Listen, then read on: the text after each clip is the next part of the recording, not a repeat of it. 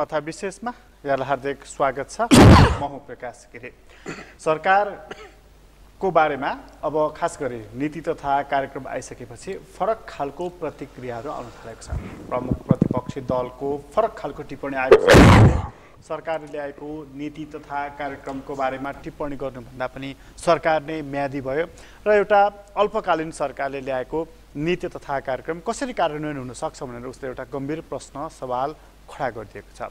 यसो भन्नुको पछाडि सरकारमै रहेका एकजना उप प्रधानमन्त्रीले यसको अवधि अब तिन महिना मात्रै बाँकी छ भनेर मिति केटानी गरिदिएपछि प्रमुख प्रतिपक्षले यस खालको टिप्पणी गरेको देखिन्छ र यसभन्दा अगाडि सरकार परिवर्तनको लागि भएको असफल प्रयासको तिक्तता अझै पनि कायम नै रहि नै रहेको छ। र यो खालको प्रयासले राजनीतिक दलहरू बिचको सम्बन्ध कस्तो खालको हुन खोज्दछ त अब? एमालेको बिचमा कङ्ग्रेसको बिचमा र ए माओवादीको बिचको सम्बन्ध अब कस्तो खालको हुन्छ त? यसले कतै तिक्तता ल्याएर राजनीतिक दलहरू बिचको एउटा असमझदारी निर्माण गरिदिने र यसले संविधान कार्यान्वयनमा अप्ठ्यारोपन ल्याइदिने त होइन यी सवालहरू खडा भएका छन्। र आज मूलत हामी यी विषयमा केन्द्रित भएर कुराकानी गर्नेछौँ। हामीसँग कुराकानीको लागि यति बेला स्टुडियोमा हुनुहुन्छ नेकपा एमालेका नेता कर्णबहादुर थापा। स्वागत छ धन्यवाद। अब यो नीति तथा कार्यक्रम आयो। नीति तथा कार्यक्रम आइसकेपछि प्रमुख प्रतिपक्षी दलको टिप्पणी के छ भने यो म्यादी सरकारले ल्याएको नीति तथा कार्यक्रम हो। कार्यान्वयन हुने कुरै भएन भनेर एक वाक्यमा टिप्पणी गरेको छ। के भन्नुहुन्छ यसमा? म त्यो टिप्पणी यथार्थपूर्वक होइन भन्ने सबभन्दा पहिले स्पष्ट गर्न चाहन्छु। सरकार यो सरकार कुन पृष्ठभूमिमा बन्यो भन्ने कुरा जगजाहेर नै छ। कसैको पनि एउटै पार्टीको बहुमत छैन। सबै पार्टीहरू तिन चारवटा पार्टीहरू अझ त्योभन्दा धेरै पार्टीहरू मिलेर सरकार बनेको छ।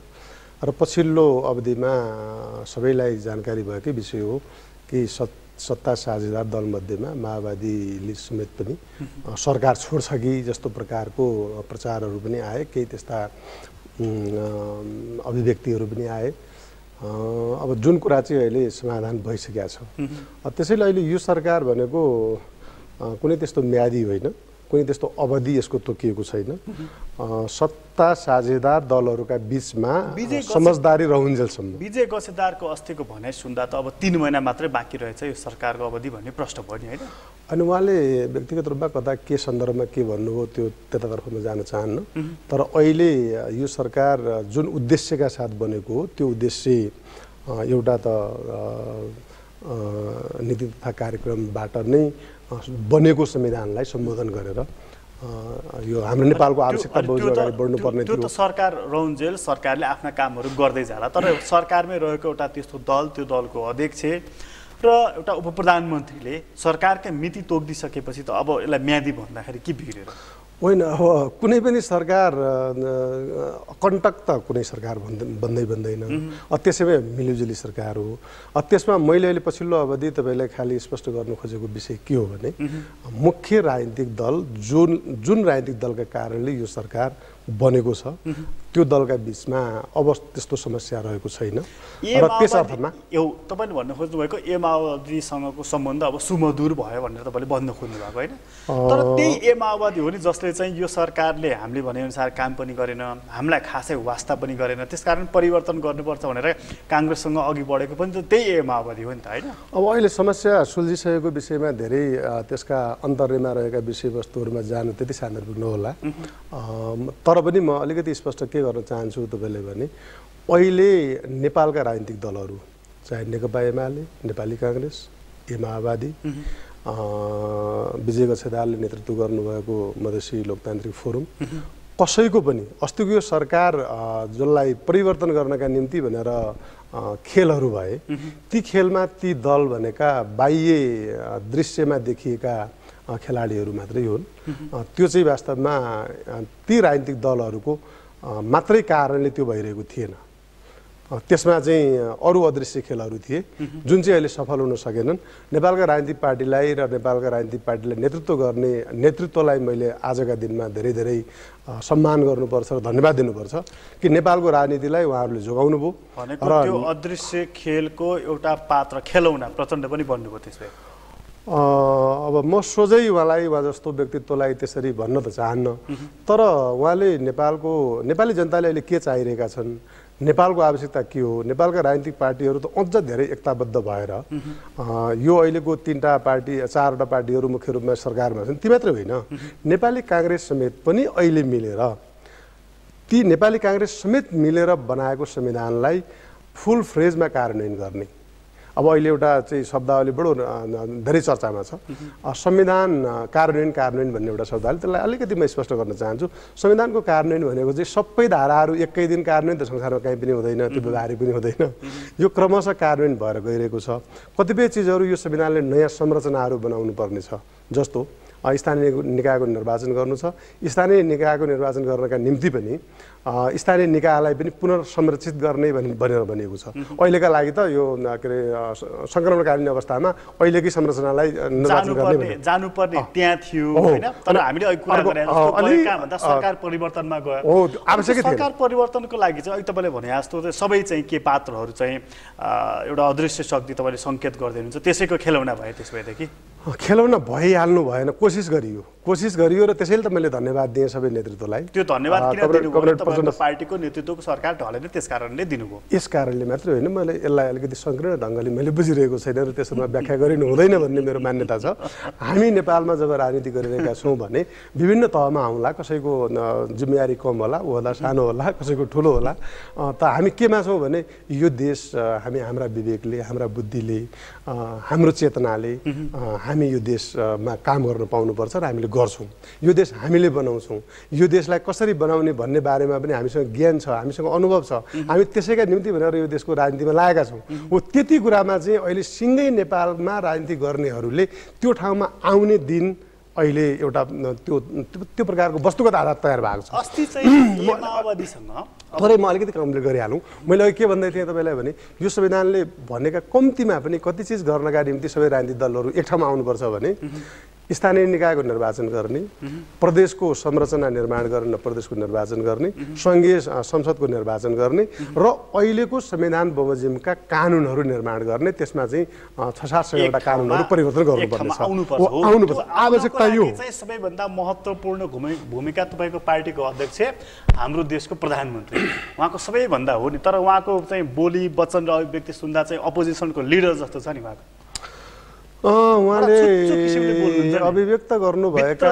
कतिपय विषयवस्तुहरू भाषा पक्रने हो भने भाषाका पछाडि जाने कि भावका पछाडि जाने भन्ने कुरा छ अनि उहाँको चाहिँ कस्तो छ भन्दाखेरि उहाँ स्पष्टवादी मान्छे हुनुहुन्छ पहिलेदेखि नै मान्छेको आफ्नो स्वभाव हुन्छ कतिले के भन्छन् भन्दाखेरि उहाँको भाषा अलिक कडा भयो सामान्य नागरिकले बोल्ने जस्तो भयो अथवा एउटा कुनै पार्टीको नेता जस्तो मात्रै भयो प्रधानमन्त्री भएपछि भाषामा नरमपना हुनु पर्यो भन्ने प्रकारको एउटा त्यो। टिप्पणीहरू छ। मलाई चाहिँ त्यस्तो किन लाग्दैन भने ठिक छ त्यो जनताको टिप्पणी सकारात्मक ढङ्गले गरिएको कुरामा म सम्मानै गर्छु। उहाँले पनि त्यो सम्मान गर्नुपर्छ भन्ने मलाई लाग्छ।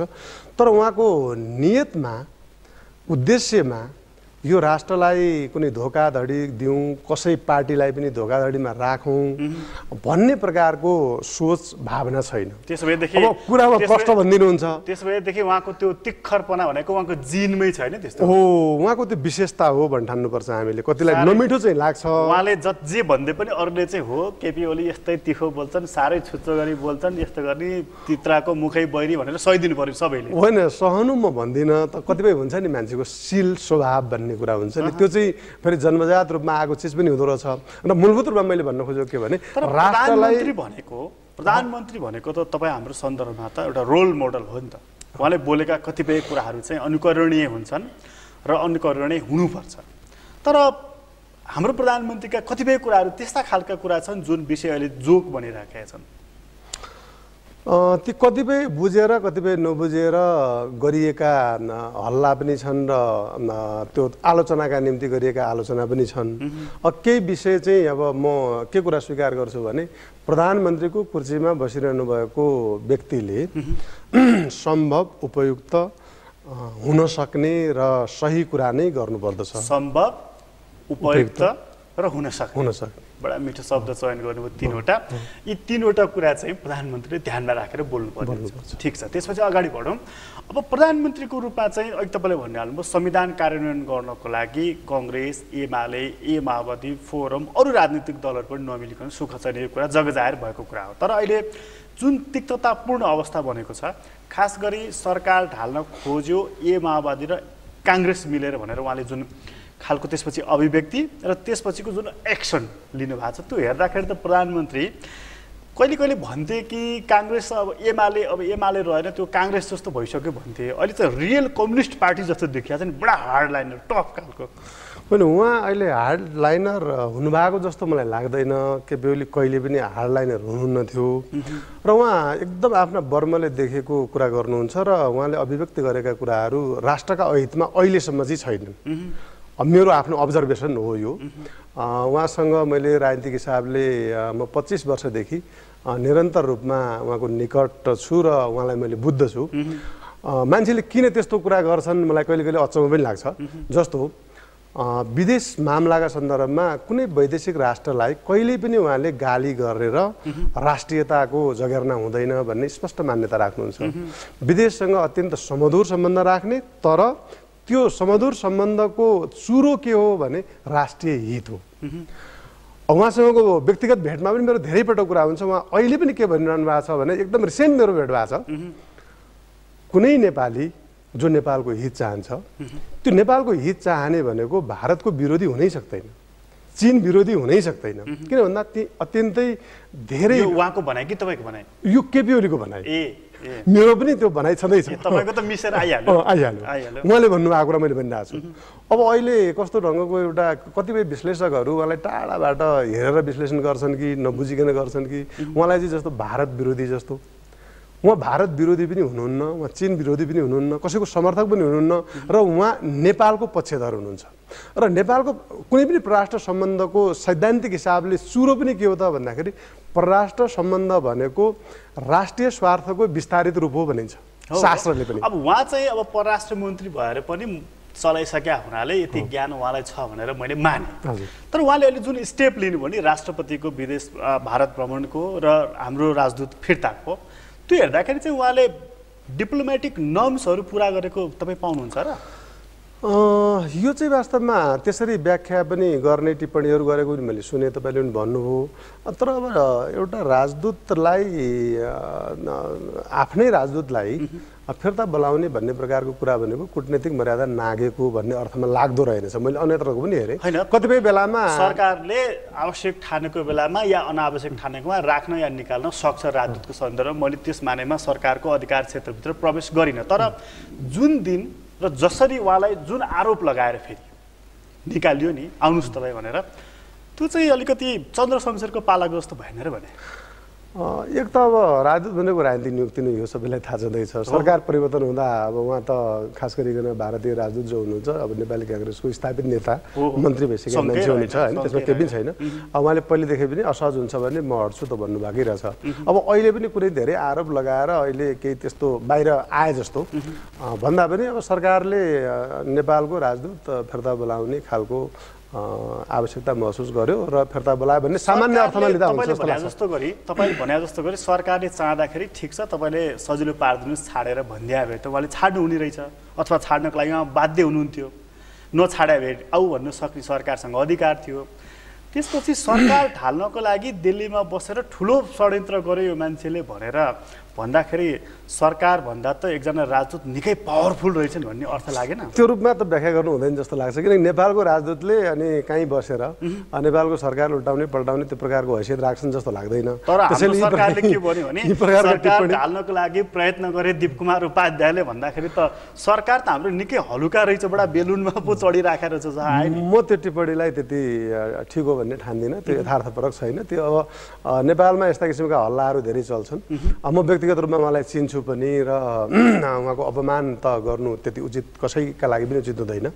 र त्यसलाई चाहिँ के रूपमा व्याख्या गरिनु रक्षा मन्त्रीजीले त्यही भन्नुभयो नि होइन सार्वजनिक टिप्पणी त्यही आइरहेको छ सबैले पढिराख्नु भएको तपाईँले पढ्नु होला मैले पनि पढेँ उहाँको व्यक्ति म चाहिँ त्यो पक्षमा छैन। जस्तो अहिले राजदूत फिर्ता बोलाएको कारणले भारतसँगको सम्बन्धले या भारतसँगको तिक्तकाल तिक्तताले पनि होइन।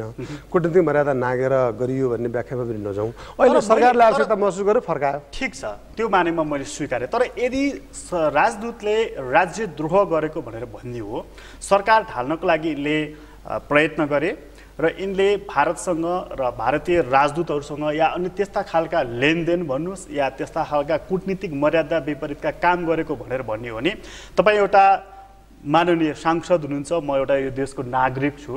त हामीले राज्यद्रोह गरेछन् ती मानिसले भनेर मान्नुपर्ने हुन्छ र सरकारले कारवाही गर्नुपर्ने हुन्छ नि गर्छ त अब। त्यो तहको कुरा पनि होइन त्यसलाई मैले भने नि यसलाई कहिले कहिले। विषयवस्तुलाई कस्तो भनिदिन्छ भन्नुहुन्छ भने सानो विषयवस्तु सानो। भनेको एउटा व्यक्ति हो नि त। म म त्यो पक्षमा छैन त्यो रूपमा व्याख्या गरिनु हुँदैन भन्ने मान्यता राख्छु।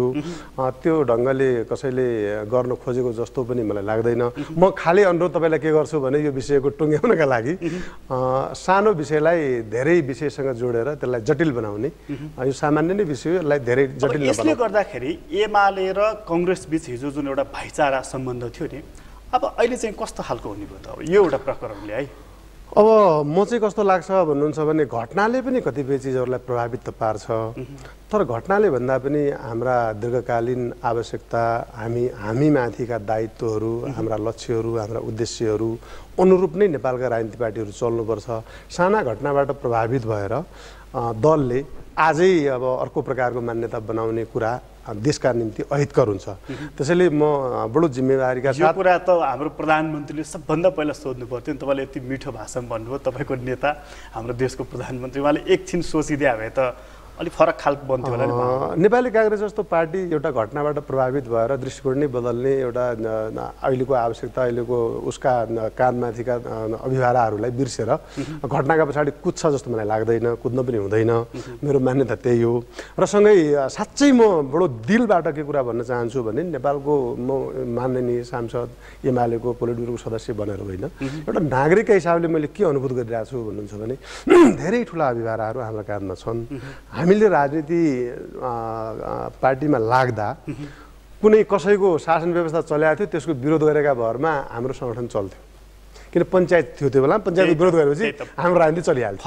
फलानुले यसो गर्यो राजतन्त्र- हटाउँछौँ भनेर पनि हाम्रो राजनीति चल्थ्यो। भन्नाले जे जे गर्छौँ गर्नुपर्छ भनेको थियो नि। निरङ्कुशता छ त्यसलाई हटाउँछौँ बौद्ध व्यवस्था स्थापना गर्छौँ लोकतन्त्र स्थापना गर्छौँ गणतन्त्र स्थापना गर्छौँ भनेर हाम्रो राजनीति चल्यो। भन्नाले त्यतिसम्म त जनताले हामीलाई पत्यायो नि त साथ दिए नि। जे भनेको थियौँ त्यो कुरा हामीले पुरा गरिसक्यौँ। अब के हो त भन्नुहुन्छ भने हाम्रो देश हामी कसरी बनाउँछौँ? देश बनाउने भन्नुको मतलब के हो त भन्दाखेरि जनताको जीवनमा समृद्धि ल्याउने। भूगोल त मान्छे नहुँदा पनि रहन्छ। ठिक छ। यो होइन? यो- प्रकरणमा म आउँछु। योभन्दा अघिल्लो प्रकरण एउटा एउटा प्रश्नबाट टुङ्गाउन चाहेँ मैले। एक्काइसवटा देशका राजदूतहरू अहिले सिफारिस भएका छन्। ती प्रक्रियामा जालान् नियुक्ति होलान् आफ्नो ठाउँमा छँदैन छ। त्यसमध्ये एकजना जिम्मेवार नेता अस्तिसम्म पूर्व मन्त्री हुनुहुन्थ्यो महेन्द्र पाण्डे। बडा शालीन व्यक्तित्व हुनुहुन्छ। म पनि चिन्दछु तपाईँको नचिन्ने कुरै भएन। चिनको लागि राजदूतको रूपमा उहाँलाई सिफारिस गरिएको छ। भोलि सरकार परिवर्तन होला अर्को सरकार आउला मन नमिल्ला विचार नमिल्ला एमालेको नेता हो नि त यो मान्छे भनेर फिर्ता गरियो भने अथवा अहिले साउदी अरेबियामा रहेका राजदूतलाई फिर्ता बोलाइयो भने के हुन्छ? एक त राजदूतले देशको प्रतिनिधित्व गर्छ तर तत्कालीन सरकारका नीतिहरूको पनि उसले प्रतिनिधित्व गर्ने हुनाले गर्नुपर्छ। त्यस कारणले गर्दाखेरि त्यो एकदमै सहजै ढङ्गले आफै फिर्ता हुने खालको पनि विषय हुन्छ राजदूत बनेको तर महेन्द्र पाण्डेका विषयमा जुन कुरा गर्नुभयो अहिले नेपाल सरकारले एउटा के मान्यता बनाएको छ भने दुईवटा देश छिमेकी देश भारत र चिनका सन्दर्भमा मन्त्री स्तरको मान्छेलाई चाहिँ अँ, राजदूत बनाउने। अथवा मन्त्री भइसकेको भनेर होइन कि? एउटा मन्त्री त अयोग्य रहेछ निक्लिहाले। अब अर्को मन्त्री मैले खालि खालि त्यो? दुईटा देशलाई कति महत्त्व नेपालले दिएको छ भन्ने सन्दर्भमा मात्र मैले भन्नु खोजेँ। भन्नु मतलब मन्त्री भइसकेका भन्नाले मन्त्रीको स्तरको भने होइन कि? जो मान्छे जान्छ। उपाध्याय त यहीँ रहँदा पनि तपाईँहरूले त डे टु डे फेस गरिरहेको वार्ताकारकै रूपमा पनि उनकै घरमा पनि कयौँचोटि वार्ता भएको त हामी रिपोर्टिङमै जाने अरू कोही मान्छे जाँदा पनि अब मन्त्री स्तरकै भएर जान्छ भन् मात्रै मैले भन्नु खोजेँ। दुईटा देशलाई अब जाने चाहिँ एमालेको पालो होला होइन अनि एमालेको निकटको पनि कोही मान्छे होला अथवा अर्को के होला देशको प्रतिनिधित्व गर्ने मान्छे अब राजनीतिसँग त काहीँ न काहीँ जोडिएकै हुन्छ। म केमा छु भने चाहिँ मैले यो कुरो यस कारणले मात्रै उठाइराखेको कि हाम्रो सरकारले राजदूत फिर्ता बोलायो उसको अधिकार क्षेत्र परेको विषयलाई यति धेरै बहस गर्नुपर्ने थिएन। तर सरकार ढाल्नको लागि प्रयत्न गरेको र त्यस्ता खालको क्रियाकलाप गरेको भनिसकेपछि हामी कहाँ के चर्चा चल्छ भने भारतीय राजदूतले लैनचोरमा बसेर बालुवाटारमा र सिंहदरबारमा प्रभाव जमाउँछन् र उनले नै यो चलखेल गर्छन् भनेर भनिन्छ र हाम्रो सरकारका कतिपय मन्त्रीहरूले मुखै खोलेर पनि यो कुराहरू भनेका छन्। त्यसको सन्दर्भमा चाहिँ के हुनेको थियो फेरि?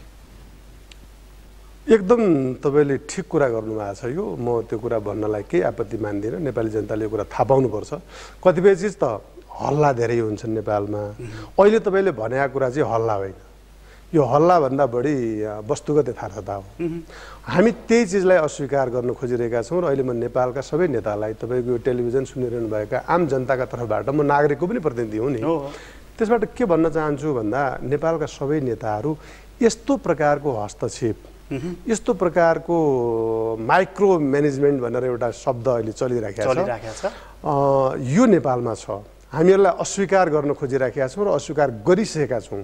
यो कुरा विनम्रताका साथ हाम्रा मित्र राष्ट्रहरूले हाम्रा छिमेकी राष्ट्रहरूले हामीसँग सम्बन्ध भएका संसारका सबै देशहरूले बुझ्न जान्न जरुरी छ।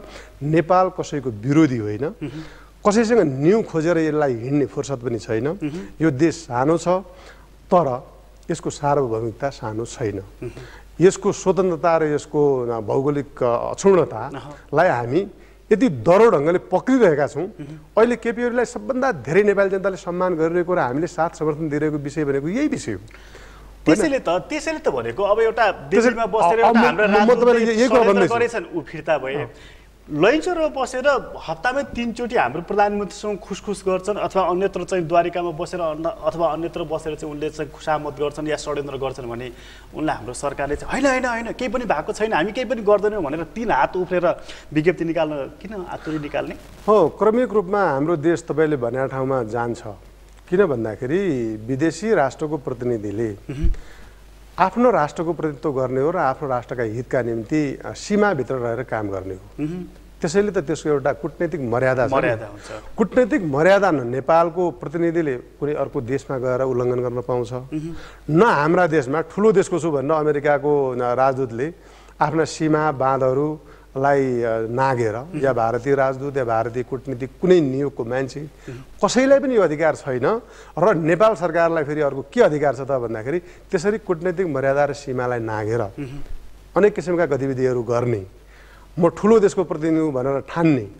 त्यो हो भने त्यो कुटनीतिज्ञ नै होइन कुटनीतिक शास्त्रका हिसाबले भन्ने हो नेपाल सरकारलाई त्यति अधिकार त छ नि होइन कि कसैले कुटनीतिक मर्यादा नाग्यो भनेदेखि तिमी जाऊ भन्ने अधिकार त एकदम अधिकार छ र हुन सक्छ। सन्दर्भमा चाहिँ आजदेखि होइन छ महिनादेखि नै हाम्रो सरकारले ग्यार ग्यार ग्यार ग्यार ग्यार ग्यार गरेर गुनासो गरेको।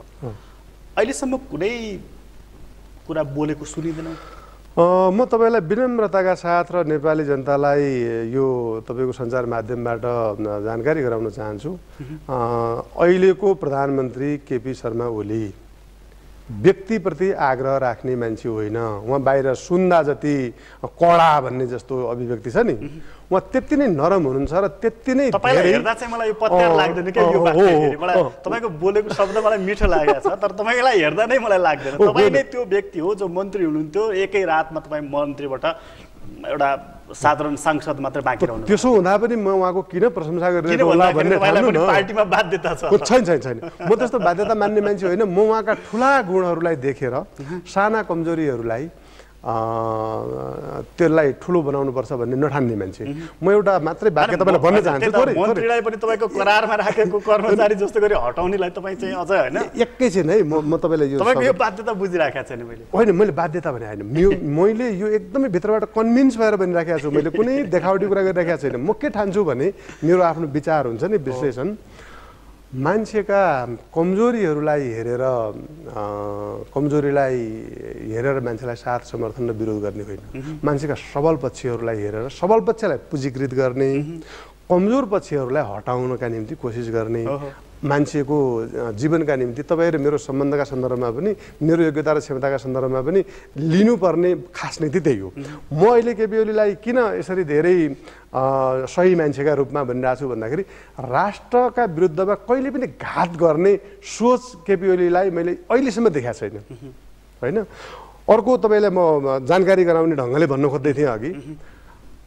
कुटनैतिक मर्यादा नाग्ने कसैप्रति पनि यसमा चाहिँ मैले अँ। सिधा उत्तर खोजेको अँ, होइन, म भन्दैछु, म मैले- भन्दैछु। मैले- म- म सिधै यदि- भन्दैछु। यदि- सिधै होइन, भन्न खोजेँ अँ, मैले। फेरि सोधेँ मैले तपाईँ अघि प्रश्न बिर्सिनु भयो फेरि हजुर, सोधेँ मैले हजुर। हाम्रो राजदूतलाई त हाम्रो सरकारले आऊ भनेर एकैचोटि इसारा गर्यो बोलाइहाल्यो सकिहाल्यो त लैनचौरमै बसेर यदि उनले कुटनीतिक मर्यादा नाग्या हुन् भन्ने हाम्रो सरकारको निष्कर्ष हो भने उनलाई जाउ चाहिँ किन भन्न सकेन त्यही मैले ट्याक्क भन्नु खोज्दैथेँ तपाईँलाई यो सरकार र हाम्रो प्रधानमन्त्री केपी ओली कुटनैतिक मर्यादा नाग्ने आफ्नो राजदूत मात्रै होइन अरूका राजदूतप्रति पनि त्यति नै धेरै असहिष्णु भएर प्रकट हुन सक्ने र निकट भविष्यमै यदि यस्तै किसिमका क्रियाकलापहरू जारी रहन्छन् भने कुनै समाचार हामीले फेरि सुन्नुपर्ने र त्यो दिन फेरि यसै गरी छलफल गर्नुपर्ने समय पनि आउन सक्छ भन्ने चाहिँ म अनुमान तर हिजो बेलुकादेखि नै मैले ट्विटर र फेसबुकमा देखिरहेको छु हाम्रो परराष्ट्र मन्त्रीजीको हतार। हो होइन होइन होइन हामीले कारवाहीको कुनै प्रक्रिया चालेको छैनौँ त्यस्तो होइन भनेर बडा हतार हतार छिटो छिटो उहाँले कमेन्ट गरिराख्नु भएको छ।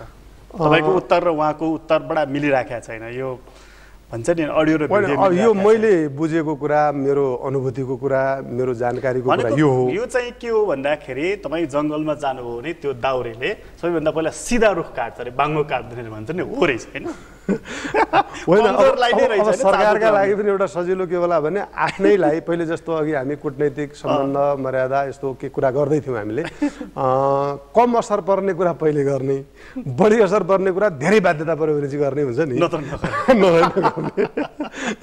त्यस्तो खालको होला जस्तो लाग्छ मलाई। धेरै धेरै धन्यवाद।